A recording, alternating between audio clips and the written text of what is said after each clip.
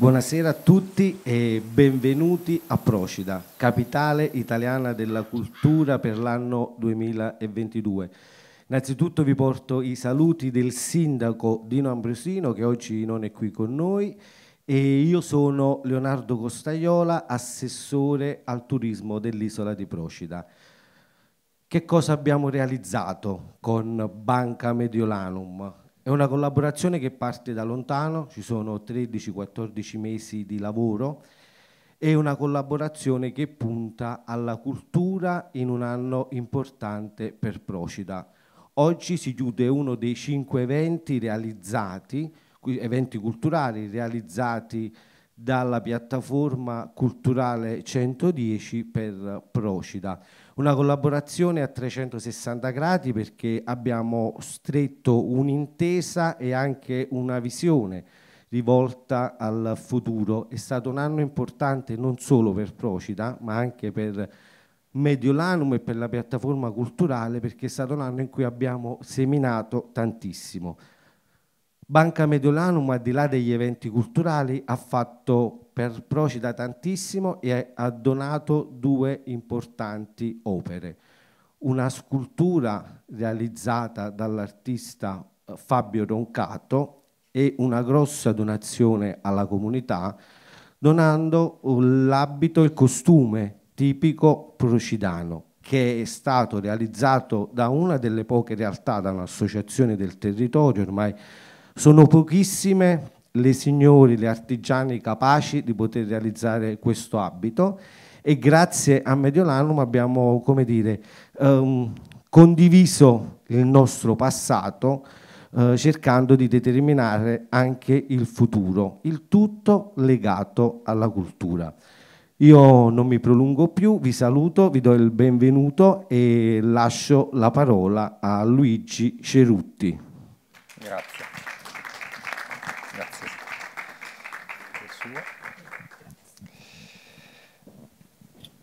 Allora, di nuovo buonasera a tutti, eh, ringrazio l'assessore Costagliola per il benvenuto, ringrazio Procida per questo bellissimo benvenuto a questa serata eh, organizzata da 110, appunto dalla piattaforma culturale di Mediolanum.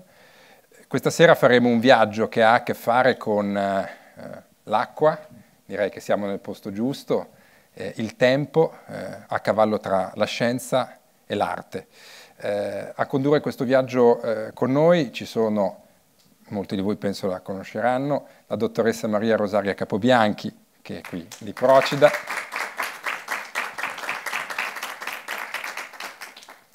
Professoressa straordinaria di biologia molecolare, stata direttrice del laboratorio di biologia dell'Istituto Nazionale per le Malattie Infettive dello Spallanzani, eh, ospedale che abbiamo tutti imparato a conoscere se non altro attraverso i giornali perché direi il più attivo nella lotta al virus, al Covid, avendone, essendo anche stato tra i protagonisti, avendo aiutato a isolare il virus. Eh, qui con noi poi l'artista Fabio Roncato, che è, stato, è colui eh, grazie al quale potete ammirare eh, l'opera che è stata donata e che coinvolgeremo eh, eh, ovviamente all'interno della nostra discussione, e eh, Ramona Ponzini, fondatrice eh, del duo curatoriale eh, Treti Galazie e eh, ovviamente firma eh, per l'arte contemporanea eh, di 110.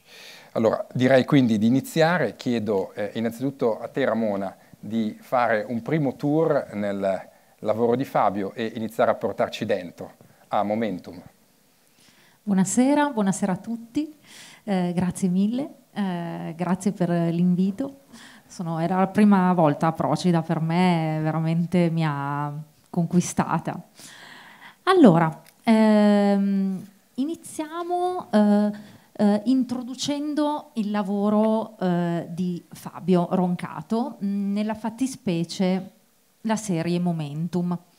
Vorrei farlo però attraverso tre elementi, tre elementi più uno, mh, due che eh, diciamo derivano dalla eh, settima arte, il cinema, uno eh, dall'arte contemporanea eh, e poi c'è un più.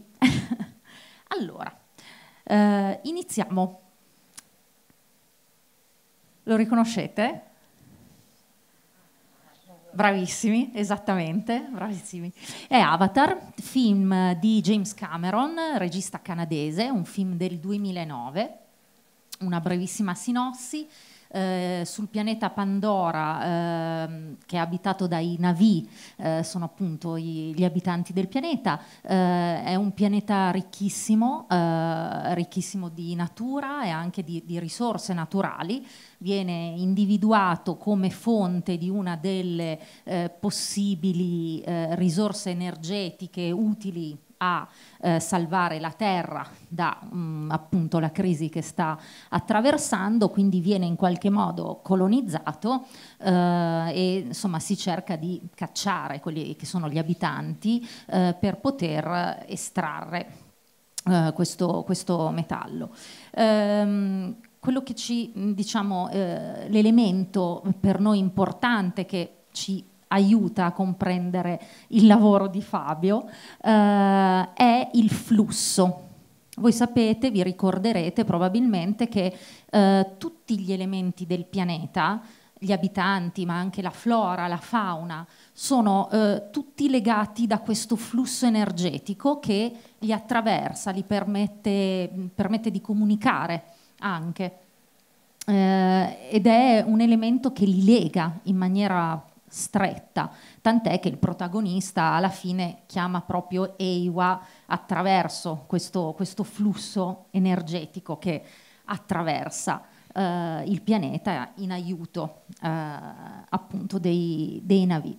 Quindi ecco, da, da Avatar prendiamo questo, questo flusso. Mm? Andiamo col secondo elemento. Anche questo forse lo riconoscerete. Questo è sempre di James Cameron, direte che sono abbastanza fissata con James Cameron, sì. Questo è Terminator 2, 2 del 1991. Allora, vabbè, James Cameron è un cineasta assolutamente finissimo, travestito da regista di film blockbuster. In realtà tutti i suoi film sono veramente mh, delle detonazioni di mh, molteplicità di temi eh, estremamente interessanti, a parte che è anche definito il regista dell'acqua e è un elemento che ci interessa da vicino nel nostro viaggio di questa sera. è anche chiaramente il regista della tecnologia e di una riflessione sulla tecnologia, insomma, molto cosciente e, e presente perché eh, ha anticipato tantissime eh, criticità dello sviluppo tecnologico, questo già nell'84 con il primo Terminator, ma il secondo Terminator ci viene in aiuto perché? Allora, riconoscerete probabilmente la particolarità, la peculiarità che ha reso famoso questo, questo film del 91, ovvero il T-1000 non il T800 interpretato da Arnold Schwarzenegger, ma il T1000 interpretato da Robert Patrick. Che qual era la sua caratteristica? La sua caratteristica era quella di non avere un esoscheletro rigido, ma avere un esoscheletro in metallo liquido. Una tecnologia del futuro che eh, aveva una peculiarità particolare, ovvero quella di entrando in contatto con un elemento organico, con la vita, ne assumeva le sembianze. Infatti lui si aggira, insomma, attraversa tutto il film eh, mimetizzandosi tra le varie forme di vita, ne assume la forma, ne assume anche la voce. Quindi quello che dobbiamo focalizzare di, di Terminator 2 del T1000 è proprio questo metallo, questa materia inorganica che a contatto con la vita, con la materia organica, ne assume le sembianze. Passiamo al terzo elemento. Questo è forse un po' più difficile da individuare. È un'opera di arte contemporanea del 1913 di colui che considerato il padre dell'arte concettuale, ovvero Marcel Duchamp. Forse ve lo ricorderete per Fontana, per l'Orinatoio. o per l'opera che ha dato il via diciamo, all'arte concettuale, che è stata la sua prima opera di arte concettuale, che è Ruota di bicicletta, cioè una ruota di bicicletta incastonata in uno sgabello ci sarebbero da parlare per giorni diciamo, di, di, di, Marcel Duchamp. Lui nasce pittore, vi dico proprio due brevi notazioni. Lui nasce, nasce pittore, si era formato come pittore, era un eccellente pittore di pittura eh, espressionista, cubista, ma a un certo punto dice la pittura retinica, la pittura pittura è morta bisogna andare oltre, serve la pittura idea. E nel 1913 proprio crea il suo primo ready-made. Il ready-made è eh, nient'altro che una decontestualizzazione di un oggetto preso e messo in un altro contesto. Hm? Detta in maniera un po' come dire, eh, semplice, però insomma per, per farvi capire, perché si dice sempre che l'arte contemporanea è un po' ostica, no? In realtà bastano insomma, alcuni elementi che eh, ce la possono far comprendere, non è così inarrivabile. Allora, del 1913, quindi questo anno importantissimo per l'arte, perché poi veramente l'arte concettuale, quello che ha fatto Duchamp, ha veramente investito tutto ciò che è arrivato dopo. Um, Three Standard Stoppages, che è quest'opera. Three standard stoppages significa tre rammendi standard. Sulla traduzione, sull'interpretazione anche di questo titolo potremmo veramente andare a parlare per giorni. Però, che cosa ha fatto con quest'opera? Lui ha preso tre fili di un metro ciascuno e poi li ha fatti cadere dall'altezza di un metro a terra li ha fissati su tre pezzi di stoffa blu, li ha laccati e poi che cosa ha fatto? Ha registrato le forme che questi fili hanno preso e ne ha estratto delle sagome in legno. Queste sagome in legno, con queste curvature, le ha definite tre nuove forme di misurazione, tre nuovi mm, standard di misurazione. Mm? Quindi non più il metro lineare, ma questo metro. Che cosa ci serve, eh, che cosa dobbiamo mm, diciamo, cogliere da, da, da questa azione? Lui ha interagito, compiendo queste, queste azioni, con le forze della natura e ha fissato un momento, ok? Il momento in cui questo filo si è depositato a terra prendendo questa forma, quindi ha interagito con l'umidità della stanza, l'aria, stanza, il luogo insomma, dove, ha, eh, dove ha, ha, condotto questo esperimento, mm, la forza di gravità prima di tutto. Mh? E chiaramente queste tre forme sono tutte differenti. Se ne avesse fatte delle altre sarebbero state altrettanto differenti. Quindi sono dei momenti, dei momenti fissati.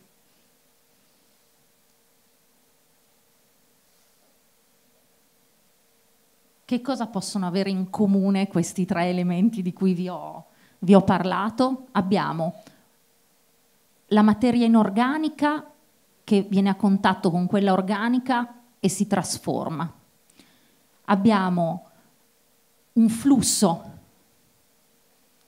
che attraversa tutti gli elementi e abbiamo il fissare delle forze della natura.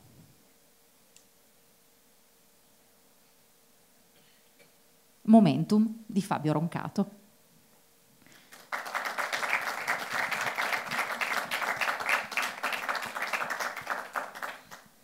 Fabio che cosa fa?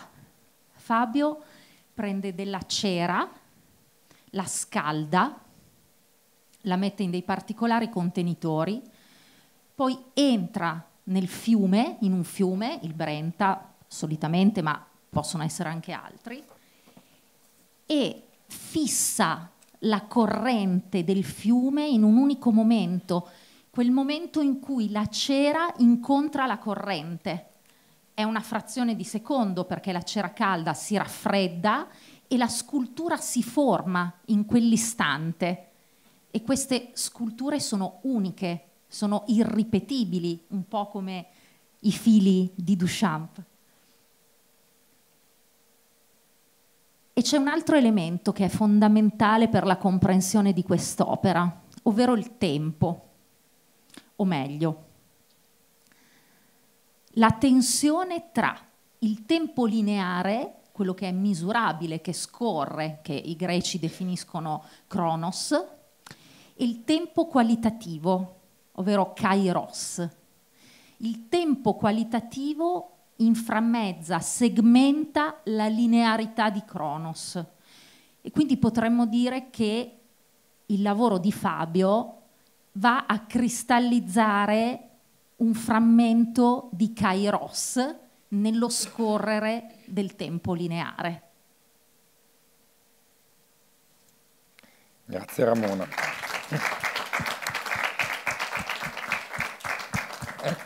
Ramona ci ha portato, ha iniziato a portarci dentro al tuo lavoro Fabio, adesso entriamoci, entriamoci eh, ulteriormente. Eh, la prima riflessione che ti chiederei di fare eh, all'atere di quello che ci ha già raccontato eh, Ramona è questa. Questi oggetti che sono il risultato di questa azione, di questa azione che è un processo che viene inevitabilmente influenzato da un elemento naturale, quello del, dello scorrere dell'acqua del fiume, e, da, e dal tempo, quindi dal, dalla frazione di tempo che passa in cui tu plasmi insieme al fiume quest'opera, mi ha fatto venire in mente fondamentalmente, guardando l'oggetto, eh, altri oggetti che troviamo in natura e che spesso interroghiamo, eh, come fossero i fusti degli alberi o i fossili. Eh, questi sono elementi naturali cui l'uomo spesso si rifà, in cui gli scienziati spesso si rifanno per conoscere di più della nostra storia. Leggiamo i fossili per capire da dove arriviamo, guardiamo l'interno di un fusto di un albero per conoscere la sua vita e conoscere gli impatti che il clima hanno avuto sulla sua vita. Quindi per te, innanzitutto, che cos'è Momentum? Allora, buonasera a tutti. Um, Dunque, Momentum è una, più che una scultura, un modo di fare le sculture. Eh, non è dunque un, un, cosa, ma un come, mettiamola così. Eh, come dicevamo, c'è tutto un processo che eh, anticipa la produzione di questa forma e questo processo normalmente si attiva ogni volta che ehm, c'è questa relazione fra essere umano, che in questo caso sono io, ed elemento naturale. Il paesaggio, in termini più generali, mettiamola così. Del paesaggio ho deciso di scegliere uh, un preciso punto, uh, che è appunto lo scorrere d'acqua di un fiume. Ora, nell'immaginario collettivo questo punto del paesaggio normalmente viene uh, percepito da noi come lo scorrere del tempo. vediamo scorrere l'acqua di un fiume, lo vediamo fare costantemente e in un certo senso scandisce uh, come un orologio eh, il procedere inesorabile del tempo. Ora, la mia idea di base era cercare di trovare una soluzione, un modo um, per riuscire ad ottenere un istante in quello scorrere. Perciò se noi pensiamo al fiume come una serie di eventi, ecco, io cercavo un modo per, per, per, per, prenderne uno e portarlo a riva. Prima quando parlavo con Luigi lui mi chiedeva appunto, faceva, ma eh, è un contenitore effettivamente di, di, tempo? Io gli dicevo sì, nel senso ne contiene uno molto piccolo, eh, contiene un istante, proprio in virtù del fatto che questo eh, processo è molto rapido, è tutto un fiume che raffredda la cera che io, verso, che io ci verso sopra. Eh, la mia cera sono così, oscillano fra 15 kg, 20. Ecco, un intero fiume che la raffredda ci impiega veramente pochissimo. Ogni volta il fiume ti restituisce una forma mm, diversa, molto fragile, però quel preciso, quel preciso istante dà una specificità a quella forma. Ecco, appunto, è una forma, diciamo così, naturale. E, ho avuto modo di lavorare eh, in un museo eh, recentemente, al Museo di Scienze Naturali di Brescia, e lì ho avuto l'occasione di non solo vedere, ma anche insomma, toccare, maneggiare eh, reperti geologici che, avevano, che, erano, che, erano, che, erano, che erano vecchissimi, avevano, contenevano anche quelli un'unità di tempo, però al contrario estremamente grandi. E noi li avevamo lì in quel momento, erano con noi, li possedevamo. E, e in qualche modo non solo contengono il tempo, ma in qualche modo lo rappresentano, perciò noi possiamo, come dire, uh, esercitare la nostra immaginazione, esercitare la nostra capacità di comprendere le cose, in questo caso ecco, una cosa un po' astratta come potrebbe essere lo scorrere eh, del tempo, però in quel caso lì ecco, noi potevamo come dire, avere ed ottenere e riuscire a, ad afferrare qualche cosa che in qualche modo ci aiuti anche a eh, cambiare prospettiva. Ecco, cambiando prospettiva eh, e escludendo la prospettiva umana, mettiamola così, cioè tutta quell'unità di tempo a cui noi siamo abituati nella nostra quotidianità a relazionarci, in quel momento riuscivo a capire cos'erano, cos'era un'unità di tempo molto più grande, non solo della mia stessa vita, ma magari addirittura della mia stessa specie. Ecco, momentum è il contrario in realtà, non riflette più su unità di tempo gigantesche, come potrebbe essere un fossile, ma è un istante nel tempo, cioè cos'è un istante nel tempo, come appare un istante nel tempo, come possiamo eh, rubarlo dallo scorrere degli eventi. Eh, il momentum in realtà è questa cosa qui, è un, è un, è un modo per, per, per, per, rubare gli istanti dallo scorrere d'acqua. Ecco, eh, noi siamo qui, questa, questa piccola formazione di tre persone è particolarmente adeguata, no? perché abbiamo una grande curatrice eh, attiva nell'arte contemporanea, poi faremo qualche domanda, abbiamo un artista e abbiamo una scienziata. E a volte quando eh, ho dei dialoghi eh, mi rendo conto che, normalissimo questo, le persone pensano che gli artisti siano un po' di personaggi un po' strani che si aggirano, guardano per aria e fanno delle cose che poi magari hanno anche un mercato, ma questo è un incidente. In realtà gli artisti eh, compiono un viaggio utilizzando un linguaggio non convenzionale, cioè non è quello della parola umana, non è quello della, della matematica, ma un linguaggio non convenzionale attraverso il quale riescono a sintetizzare delle idee e molto spesso sono, visto che non, non, hanno i legami che ha la scienza, che ha l'onere della prova, ha l'onere di dover provare qualcosa e riprovarlo ed essere certo che qualcosa funzioni, possono compiere dei salti, perché possono fare a meno dell'onere della prova. Ma facendo dei salti spesso vanno in avanti, in avanti anche di decenni, anticipando le grandi sfide che poi la scienza e la tecnologia dovranno colmare. Quindi in questo senso Fabio eh, compie un salto che poi la dottoressa Capobianchi dovrà colmare tecnologicamente. E questo è qualcosa che nel mondo della, del, del, del, del, genere umano è successo molto spesso. Eh, artisti che hanno spinto con le loro idee aziende a, a, colmare tecnologicamente dei gap fino a quel momento eh, impensabili, fino a quel momento eh, non superati. Quindi Mm, l'artista a volte ci, l'arte ci pone le domande e noi diamo le risposte. E allora, visto che questo dialogo è a cavallo tra arte e scienza, la domanda che pongo alla dottoressa è, il Covid è stata una grande, difficile e dolorosa domanda al genere umano, perché è stata una sfida al genere umano. Che cosa ci ha portato di male lo sappiamo, che cosa ci ha portato di bene e che cosa ci può portare ancora di bene, se qualcosa ci può portare. Eh, grazie della domanda. Io però vorrei fare un passo indietro, nel senso che ho colto tra, nel, nei discorsi fatti finora un'analogia abbastanza importante con quello che è mm, il mondo scientifico. Cioè, noi, permettetemi di fare questa premessa perché si, si, siamo in questa pandemia, siamo stati abituati, siamo abituati a sentire un sacco di voci, un sacco di voci e siamo anche stati eh, un po' colpiti da persone che ci tiravano un po' le orecchie dicendo scusate state dicendo delle cose che non sono provate, bisogna fondarsi sull'evidence based. Quindi questa parola è il tema comune, però teniamo presente che anche nella scienza come nell'arte l'evidence based è un flusso, nel senso che non esiste una verità assoluta che noi andiamo a scoprire.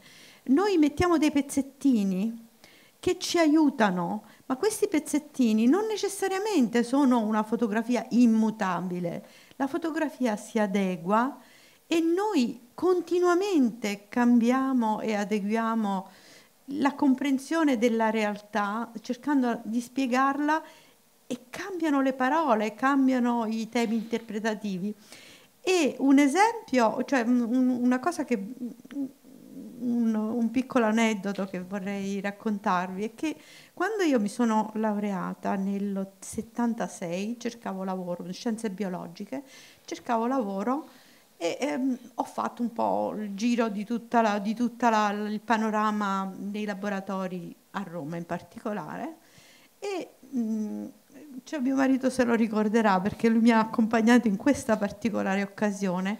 Un professore mi dice: Se dottoressa, lei è abbastanza sfortunata perché si è laureata in un momento in cui abbiamo capito tutto, abbiamo scoperto tutto, quindi la sua carriera la vedo molto ferma.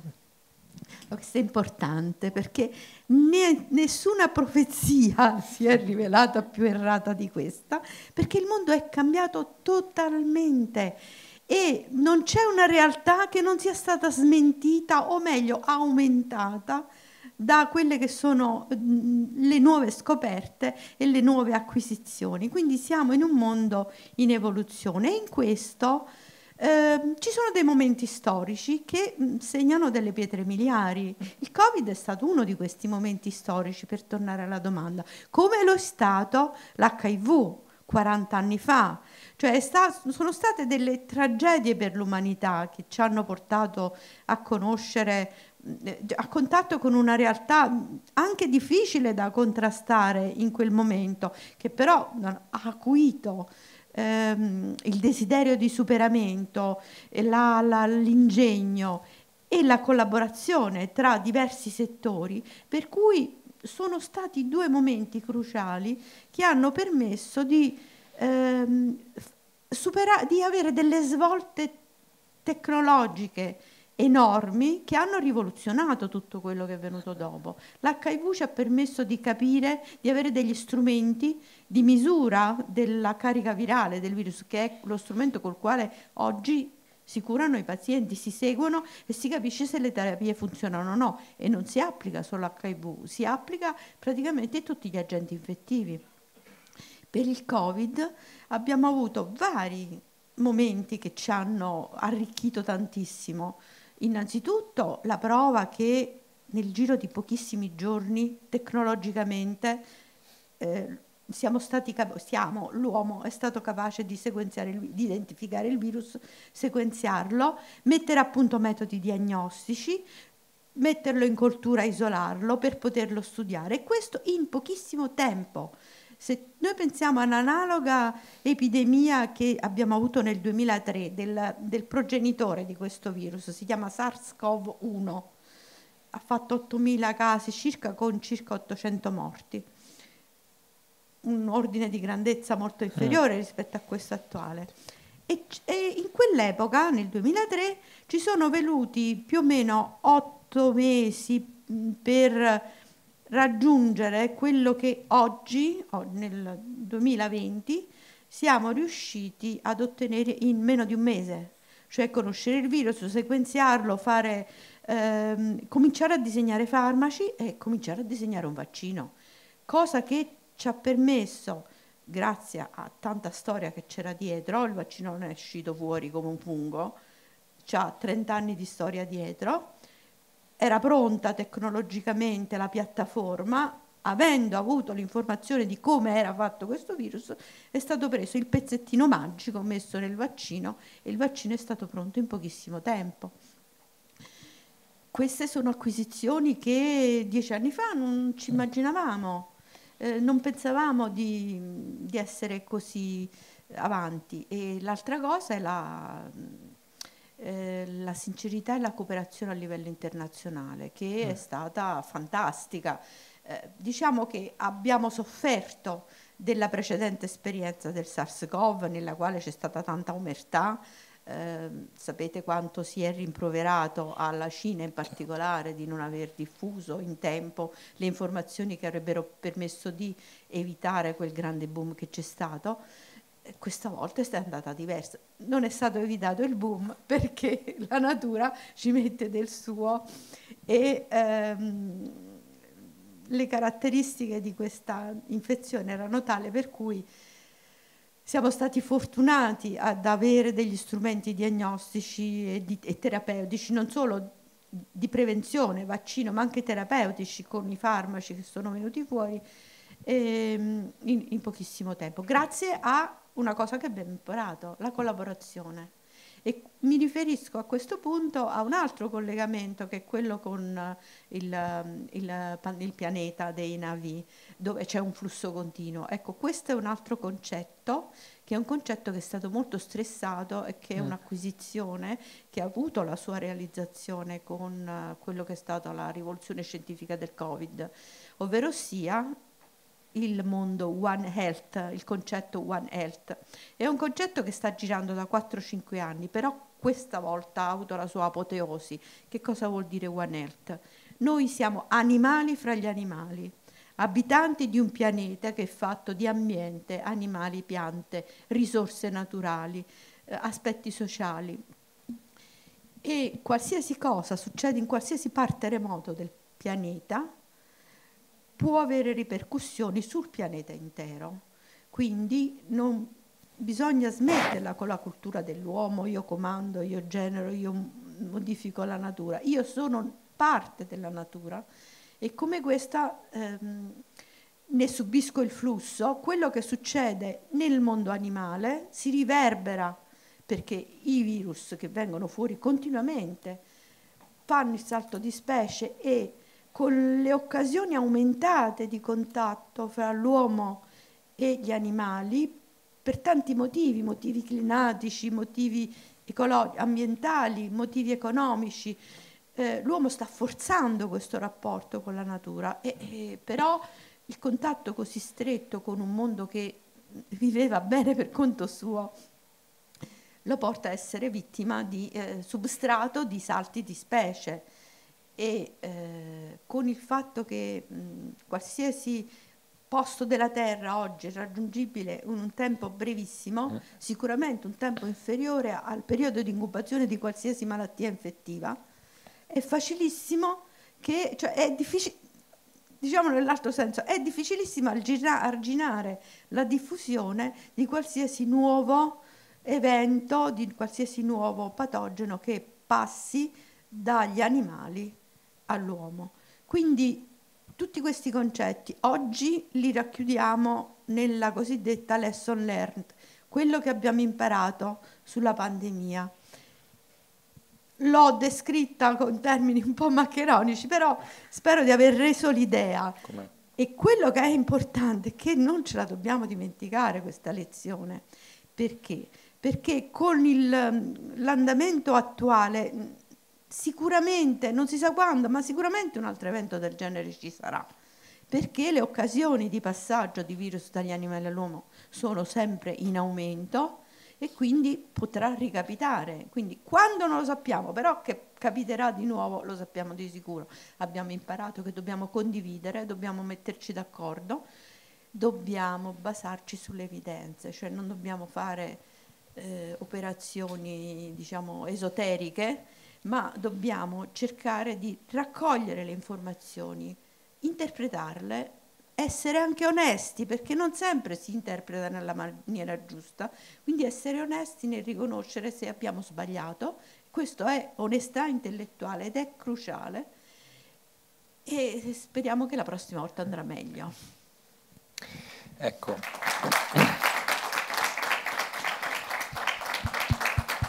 Grazie dell'intervento. Prendo un elemento di questo intervento eh, per tornare da te Fabio e l'elemento è la natura. Eh, tu, Ramone e Fabio ci hanno spiegato bene il tempo nel lavoro Momentum, adesso andiamo un passo dentro la natura. L'acqua e il fiume, evidentemente. Eh, dicevo prima, l'acqua siamo nel posto giusto, se Enea ha, nel suo viaggio, nella sua rotta verso Roma, per mettere le basi della civiltà contemporanea, anche occidentale, eh, passa da Procida e ci seppellisce la propria nutrice, elemento di maternità, quindi la maternità dell'acqua evidentemente ripresa da, questa, da questo cronotopo, tu hai scelto o sei stato scelto, non lo possiamo dire, dal fiume. Fiume che è un elemento eh, costante anche di misurazione, spesso ansiogena, che facciamo del, dell'impatto climatico, misuriamo l'altezza dei fiumi, sempre più bassa, perché ovviamente la siccità, Paolo Virzino nel suo ultimo film La siccità prosciuga il Tevere come metafora del disastro ambientale. Tu scegli il fiume come coscultore o comunque come eh, elemento guida di questo tuo lavoro. Eh, hai origini venete, hai una radice veneta, eh, il fiume lì è evidentemente un elemento importante del paesaggio. Perché il fiume e che cosa ti trasmette il fiume? Allora, um, in, quel preciso, allora in, in, in, quel preciso, elemento c'è, um, nel preciso elemento dell'acqua, mettiamolo così, uh, ci sono uh, molteplici possibilità. Allora, una di queste possibilità è sicuramente la um, possibilità di riuscire a interagire non solo con l'elemento naturale, ma anche con la comunità. Nel senso, l'acqua ha una um, ha una profonda radice, mettiamola così, nell'immaginario collettivo. Um, io sono della, eh, della provincia veneta, sono, ho due fiumi che tagliano il mio territorio, uno il Bacchiglione e l'altro il Brenta. Il Brenta è un fiume abbastanza, abbastanza gentile, mettiamola così, mi dà la possibilità di attraversarlo, di capirlo, di insomma, vedere come si comporta. Ecco, um, in realtà questa scultura non rappresenta qualcosa, è un, uh, è un processo e questo processo in realtà va chiuso con un'immagine. E um, io ho il mio modo, ma ogni persona che incrocia questa scultura ha il suo modo. Diciamo che è una scultura che può essere... Um, può stabilire una relazione con chi la osserva in maniera indipendente da me. E, ehm, si può chiamare interpretazione, forse, forse no, non lo so, però normalmente uso questo termine. Ecco, ed è questa parte qui che a me interessa, cioè la relazione con gli altri. E tornando al discorso che facevamo prima, eh, era, ehm, mi interessa questo aspetto perché non è più un rapporto diretto che io ho con, con, con la scultura e di conseguenza con chi lo osserva. Io provo ad attivare un processo questo processo poi va da solo. Uh, questa sua solitudine in qualche modo abbraccia anche, anche, anche, anche, altre persone, ogni volta si sviluppa in maniera indipendente. Così facendo in realtà io ho, come dire, uh, dentro di me ho la speranza che uh, questa cosa, come, come, lo è stato con me, lo sia anche con gli altri, cioè una, un, un, un momento anche per sviluppare una sorta di consapevolezza e conoscenza con l'elemento naturale qualche cosa che si basa sull'esercizio dell'immaginazione, non si basa sulla rappresentazione di qualcosa. Io non dipingo un fiume, um, perciò non consegno un'immagine già pronta di qualche cosa che ho visto. Lascio che sia il fiume a fare qualche cosa e quel qualche cosa poi va interpretato.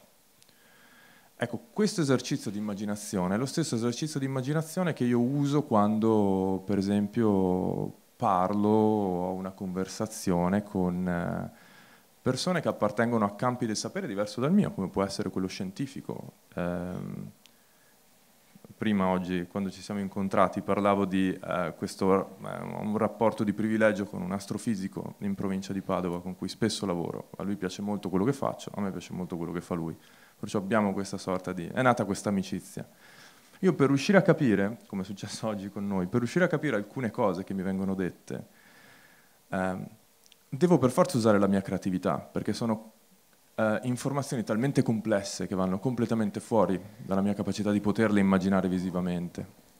E credo che l'arte contemporanea e soprattutto l'arte visiva in questa, in, questa, in questa, relazione abbia un ruolo che sia quello appunto di eh, sviluppare una sorta di modo di conoscere le cose basato sul, sull'esercizio della creatività. Dunque, tralasciando completamente quella che è la rappresentazione, per esempio, di un fenomeno, ma provare a interagire con questo fenomeno.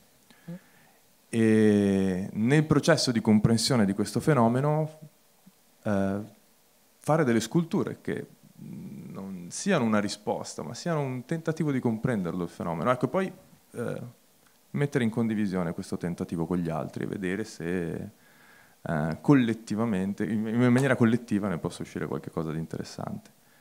Ehm, perché ho fatto questo esempio? Perché in realtà, ecco, avere una consapevolezza diversa sulla natura, che non sia solamente legata all'osservazione della bellezza della natura, o insomma una sorta di narrazione un po' da cartolina, ma qualcosa di più attivo, di più, eh, di più concreto, di più realista, ci aiuti anche a in qualche modo um, evitare che i nostri comportamenti possano incidere in maniera negativa sugli eventi del futuro. E io vivo con questa certezza e mi piace pensare che un certo tipo di arte contemporanea abbia, possa incidere ecco, su questa cosa. Grazie, ecco, facciamo ancora un giro di tre domande. Ramona, approfitto della tua presenza e della fortuna di avere, di avere qui eh, una delle persone più attente eh, al panorama contemporaneo di ricerca contemporanea visuale in Italia e non solo, e per farti questa domanda un po' ad ampio, ad ampio spettro. Eh, noi oggi eh, parliamo, siamo qui su questo palco per eh, mettere in relazione la ricerca per immagini con la ricerca scientifica, quindi arte e scienza. Se, riusci- se dovessi in qualche minuto darci una rappresentazione eh, di quanto gli artisti italiani, in generale nel mondo, quanta interazione vedi tra arte e scienza, di quanta ricerca di artisti contemporanei nell'ambito delle tecnologie scientifiche, digitali o analogiche, vedi in questo momento a che punto è questo dialogo? Si è interrotto o è molto attivo? No, no, direi che è assolutamente molto attivo anche perché ehm, ritengo che gli artisti e gli scienziati abbiano qualcosa in comune di estremamente eh, ehm, viscerale che poi prende delle declinazioni differenti. Questa è l'intuizione. L'intuizione è quella che muove l'artista, che lo spinge a portare avanti una ricerca e a tentare e provare, perché sono tutti dei tentativi, no? Poi, tra l'altro, la produzione contemporanea di arte, ci sono, sì certo, i, eh, gli artisti che fanno magari solo pittura e quello è un caso, però ormai si parla proprio di arte multidisciplinare, per cui è, non è assolutamente raro che l'artista magari abbia, decida di eh, tradurre un'intuizione con una resa formale, pittorica, scultorea, video, installazione, fotografia. Quindi quello è un ulteriore processo, mh? Mm? però alla base c'è un'intuizione e è un, un, un, costante tentativo, se vogliamo, no? di dimostrare, ma neanche di, di, di, dimostrare, perché non si tratta di avere ragione su, un, su un'intuizione, ma si tratta di avere un impulso verso la ricerca. E alla fine anche uno scienziato che cosa fa? Ha un'intuizione e cerca di provarla. Quindi questo trovo che sia veramente un qualcosa in nuce che abbiano in comune gli artisti e, e gli scienziati. E poi sì, il, il, la, il, dialogo tra arte e scienza è quanto mai vivo. Adesso eh, se devo pensare a qualche esempio, vabbè, Fabio assolutamente sì, ma mi viene in mente, eh, sono tantissimi, faccio fatica a eh, come dire, raccoglierli e catturarli in un momento. Uh, ma pensiamo a Roberto Cuoghi, pensiamo al suo, alla sua porzione del Padiglione Italia nella Biennale del 2017, pensiamo appunto a queste sculture che attraverso le muffe si autoscolpivano. Quindi c'è sempre la natura e comunque una, uno studio scientifico alla base di, di, di, di quella ricerca poi estetica, no? se vogliamo, però il processo è assolutamente scientifico. Oppure mi viene in mente un altro giovanissimo con cui ho anche avuto l'onore di lavorare, Matteo Nasini, che è un artista romano. Eh, lui era, tra l'altro, nel suo caso si parla di musica, arte visiva, scienza.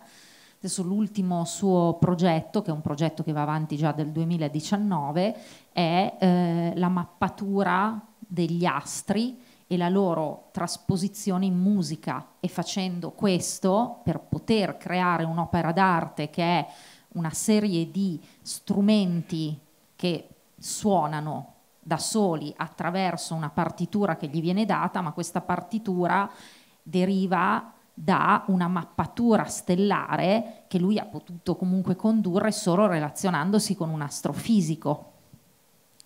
Ok? Per cui gli esempi possono veramente essere tantissimi, poi se vogliamo andare nella post-internet eh, art, c'è tutto, ci sono proprio anche filoni, non solo singoli artisti.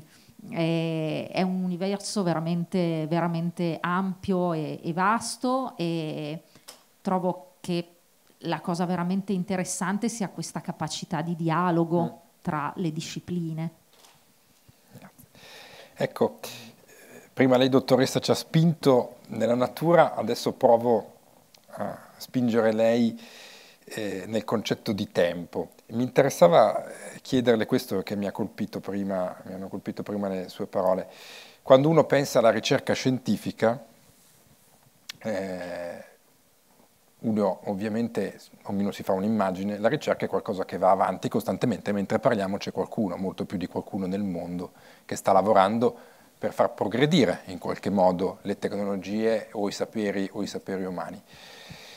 Quando arriva un'emergenza come quella provocata dalla crisi pandemica, c'è una reazione e quindi si diventa reattivi e si cerca di stringere i tempi. Vedevamo questi conteggi eh, preoccupanti di infettati, di morti che salivano e attendevamo una risposta da parte della scienza, risposta che grazie a Dio è arrivata.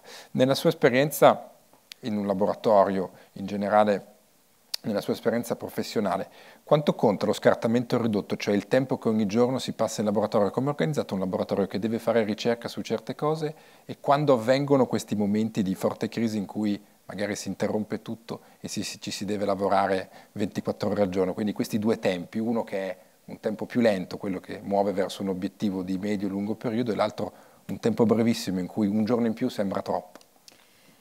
Il lungo periodo e il lungo tempo è quello che serve alla preparedness, cioè a costruire come si tende un arco, uh-huh. perché poi quando è il momento l'arco scocchi e si, in, si, si colpisca il bersaglio. Allora, in altre parole, faccio l'esempio del mio laboratorio perché ovviamente è quello che conosco meglio. Ehm, il laboratorio, un laboratorio di risposta all'emergenza, stiamo parlando di questa tipologia di laboratorio, studia e fa uno scanning del panorama infettivo, ci sono dei siti e dei, delle, dei, delle modalità di comunicazione rapida in cui vengono annunciate cose strane. In Cina, per esempio, già all'inizio di gennaio era arrivata l'informazione che c'era una polmonite che non si conosceva, che forse era strana. Allora, che cosa fa un laboratorio che si dedica alle emergenze? Tiene presente, tiene, fa uno scanning di tutto questo panorama e quando c'è una cosa interessante cerca di capire che cosa serve. Allora, per le infezioni nuove emergenti serve mettere a punto la diagnostica, perché la diagnostica non è quella assodata che si compra eh, con le ditte, perché quando c'è una cosa nuova non c'è niente di sviluppato, mancano i controlli positivi, non si sa che cosa cercare.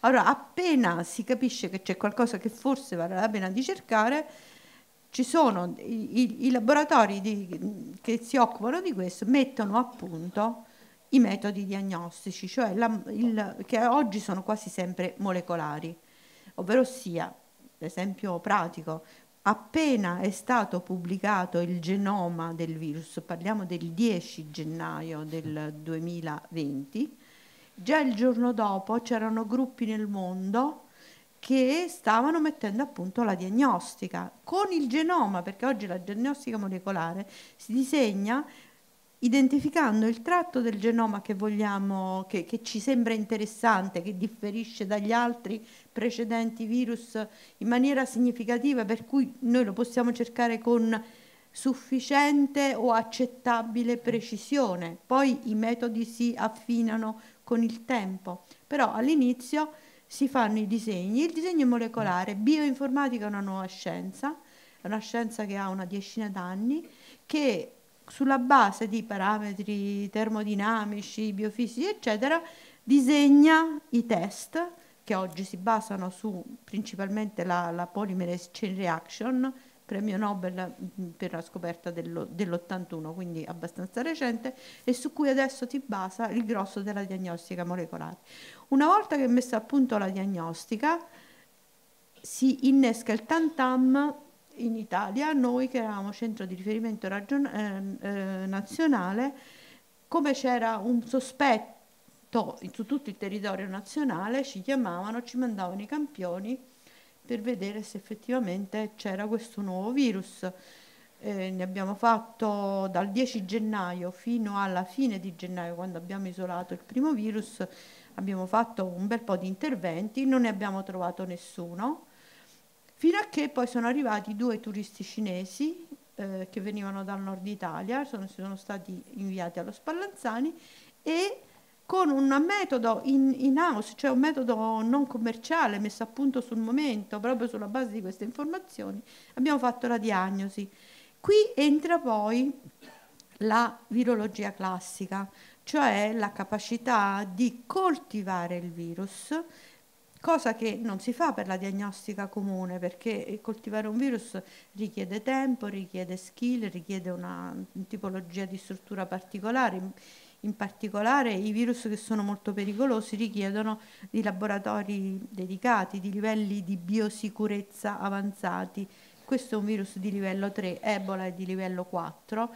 Sono laboratori che oltre ad avere strutturalmente delle caratteristiche richiedono anche una particolare formazione, ecco, addestramento delle persone.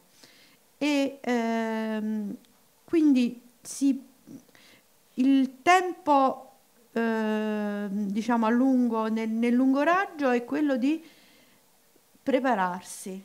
Poi quando scatta eh, il primo, quando quando è scattato l'allarme vero, lì non abbiamo più conosciuto pace, perché abbiamo dovuto, a parte ci siamo dovuti ehm, dirigere in due direzioni. Da una parte organizzare un'attività diagnostica uh-huh. che servisse sul territorio, offrendo ad altri laboratori la possibilità di imparare e quindi di rendersi autonomi.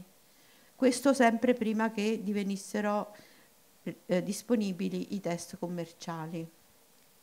Poi quando i test commerciali sono diventati disponibili, la mole di lavoro diagnostico, quindi rutinaria, era talmente tanta che abbiamo dovuto creare una rete. Nel Lazio, per esempio, ogni regione si è organizzata la sua rete.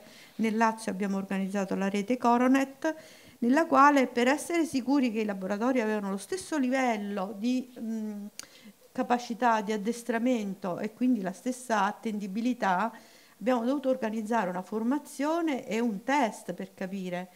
E, e, e questo costa lavoro, tantissimo lavoro, eh, e coordinamento e capacità di dire agli altri quello che devono fare, perché non è facile. Bisogna guadagnare la fiducia per, essere, eh, per avere l'autorità. perché l'autorità te la può dare la regione, te la può dare lo Stato, però se non te la sei guadagnato c'è poco da fare, nessuno ti viene dietro. Allora, questo è un altro lavoro che si fa nella fase pre-pandemica, nella fase a lungo raggio. Poi quando scatta il momento c'hai tutto pronto, però devi aver lavorato tantissimo per la preparedness. Quando è il momento poi l'arco scatta e, e, e lancia il dardo. Poi da lì eh, ci sono vari filoni, vari, vari rivoli nei quali si incanalano le attività, ripeto, l'attività di coordinamento, l'attività rutinaria che a volte è tanta e questa volta è stata proprio talmente tanta che è difficile immaginare.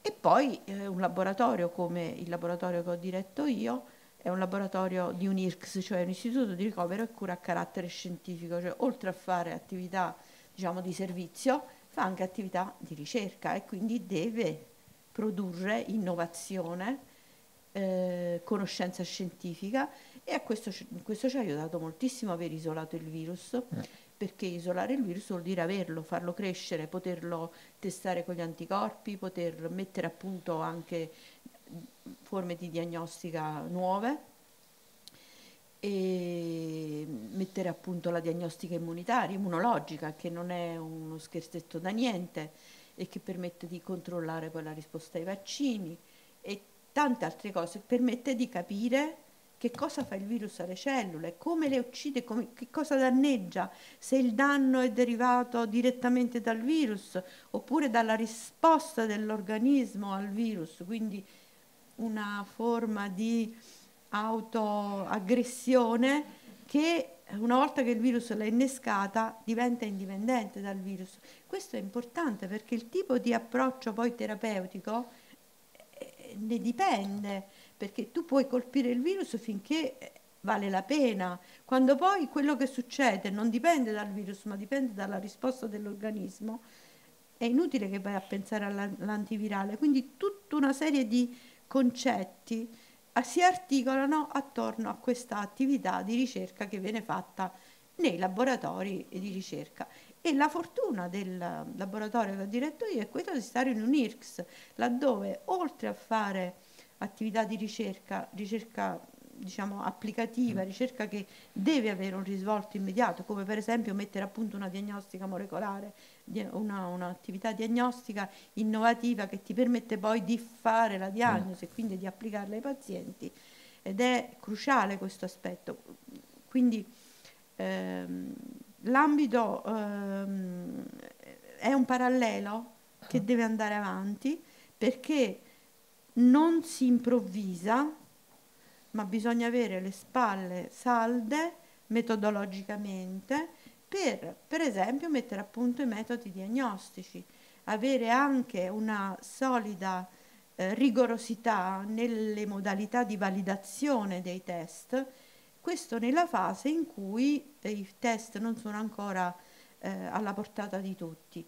E perché i test diventino alla portata di tutti ci vogliono i pionieri che si occupano di questa fase, altrimenti non si può sviluppare la diagnostica. E un concetto che io tendo sempre a eh, sottolineare è che non c'è niente di, di più errato di, un, di una mh, convinzione che cerchiamo di sfatare in tutti i modi, che oggi ci sono le macchine che fanno la diagnosi o che fanno i test. Non è così. Le macchine sono un mezzo, ti danno una materia, Intanto devi sviluppare i test e questo non lo fanno le macchine ma ci vogliono i cervelli. E poi una volta che hai sviluppato un test in, automatizzato, nel quale magari l'intervento del tecnico è premere un bottone, poi ci vuole chi lo legge, chi si accorge se il test ha fallito, se ha, una, ha detto una fesseria, se il risultato è reliable e tutto quello che gira intorno. Per cui è una cosa che quando mi capita la dico sempre, perché c'è un concetto che pensa alle persone che lavorano in laboratorio come dei tecnici che spingono i bottoni e vi assicuro è veramente sbagliato questo concetto. Come ultima domanda torniamo da te Fabio, eh, che sei evidentemente la protagonista questa sera. Per arrivarci prendo una, una figura, un'immagine che ci ha dato la dottoressa, quella dell'arco. E, um, questa non è mia, è di Alessandro Baricco, quindi poi gli pago i diritti a fine serata. C'era un maestro di tiro con l'arco giapponese nel Settecento che doveva, il più grande maestro di tiro con l'arco, doveva tramandare eh, fondamentalmente questa scienza incredibile di guerra e a un certo punto per farlo dice scrivo un libro di regole di tiro con l'arco. Quindi inizia a scrivere regole e, arriva a scrivere 30, 50 regole, ma dice 50 regole sono troppe, devo ridurre. Arriva a scriverne 30, alla fine approda al manuale perfetto di tiro con l'arco con 14 regole per tirare con l'arco. Tendi l'arco fino a quando non senti tirare tre capelli del tuo chignon. Tre capelli, non quattro, non due, tre. Allora quello è il punto perfetto. E quando ho lavorato un numero di anni notevole per arrivare a questo manuale perfetto di tiro con l'arco, alla fine di questo libro scrive delle poesie, degli haiku, come dire l'arte arriva in fondo, quando hai capito tutto di una cosa, quando l'hai scarnificato, quando sei arrivato all'essenza di un'idea, c'è l'opera d'arte. Quindi l'opera non è un tentativo confuso di mettere qualcosa, è esattamente il centro di quel tuo percorso. Ecco, quindi la domanda generica eh, che ti faccio è ehm, cosa pensi riguardo di questa idea di essere artista? Perché sei artista e come sei diventato artista? Allora, dunque, ehm, il motivo per cui sono diventato artista è mm, banalmente per merito di un altro artista. Io ero a, mm, eh, a Documenta di Kassel e vidi il lavoro di Kader Attia, che è un, eh, un artista franco-algerino, che con una semplicissima installazione è riuscito a riconsegnare interamente, questo è il mio punto di vista da osservatore, um, tutta la tragedia della prima guerra mondiale. Io arrivo da insomma, una regione del Veneto che quei territori li conosce bene, dunque incrociavo, incrociavo, questa, incrociavo questa installazione quasi per caso e ne rimasi talmente colpito da rimanere di fronte a questa installazione per, so, penso, un pomeriggio intero si ripeteva, era una sorta di video che si ripeteva, per me ogni volta, ad ogni ripetizione era, c'era, un'opera nuova. E a quel punto mi sembrava di aver intuito qualcosa in quel momento, mi sembrava di aver intuito cosa era la figura dell'artista. Cioè la figura dell'artista era um, una, parte, una parte della comunità, diciamo, che in qualche modo reagiva prima degli altri a determinati stimoli e reagiva in maniera, in maniera intuitiva, eh, dunque eh, senza in realtà arrivare a delle conclusioni di tipo, di tipo preciso, ma ehm, eh, ponendo, delle, ponendo, delle, questioni aperte e mentre poneva queste questioni aperte, ecco, queste questioni aperte venivano poste al resto della comunità di cui l'artista fa parte sotto forma di opera chiedendo anche alla comunità di insomma, partecipare ecco, a questo quesito. E eh, tornando anche a quello che ci dicevamo prima, è esattamente, cioè, la, la, ricerca scientifica è in realtà qualcosa a cui gli artisti eh, reagiscono, eh, reagiscono, quasi istintivamente. Per me il rapporto fra, ehm, fra arte e scienza è questa cosa qui. E non è un, non è un rincorrere l'informazione o cercare di spiegarla o addirittura cercare di ehm, illustrarla, aiuto, no, è reagire alla novità che la ricerca scientifica porta all'interno della comunità. Ecco, la parte degli artisti è quella che secondo me reagisce prima degli altri, in maniera anche ogni tanto scordinata, imprecisa, imperfetta. Ecco, ed è all'interno di quell'imperfezione che poi ehm, tutti quanti si possono inserire, me incluso, io sono un osservatore anche.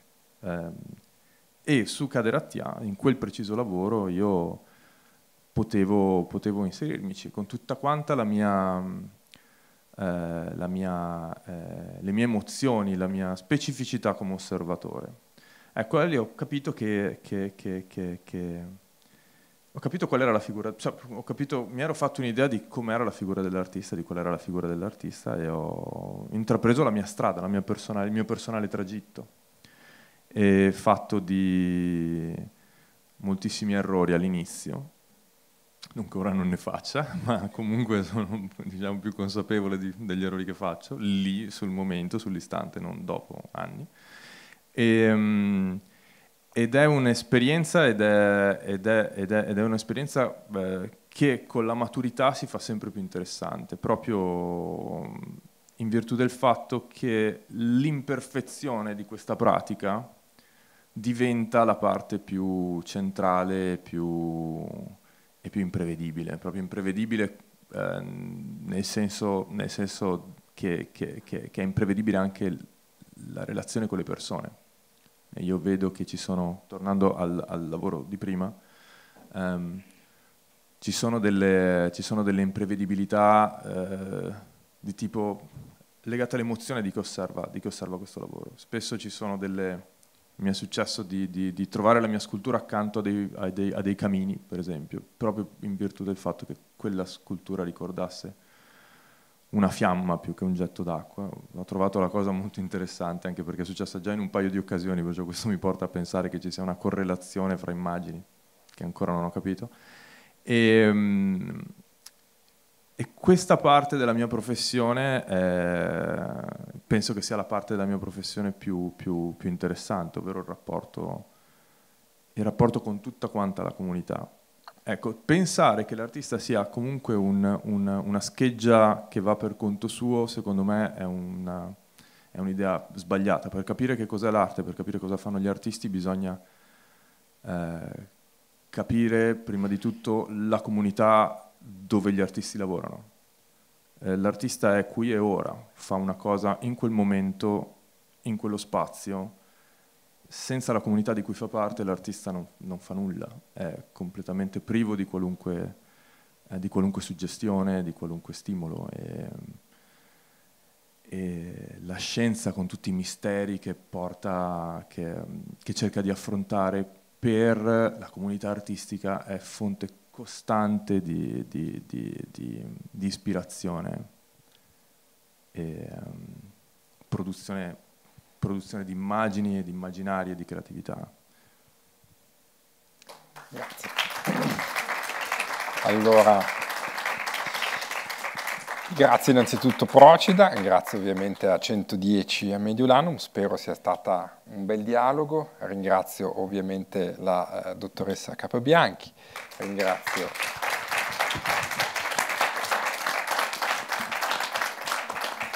Ringrazio Ramona Ponzini per... e ovviamente Fabio Roncato, di cui vi invito di, a vedere il lavoro a Palazzo Davolos. Grazie ancora, buona serata.